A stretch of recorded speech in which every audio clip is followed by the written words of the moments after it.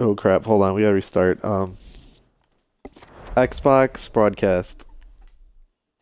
There's a problem with uh Snap Twitch real quick. Okay, sorry about that. Um there's a problem where uh when you're when you're streaming on Xbox and you're using the Xbox app, the Twitch app, it covers up the bottom part if you don't have it snapped. So I think I accidentally clicked on the. I started on the last day instead of the first. You guys can't see that. You guys probably saw exactly what I did wrong. Uh, so I'm gonna go ahead and do that again. I already saw some stuff in there that probably I wasn't supposed to see yet. So let's try that again. I'll be back after the game.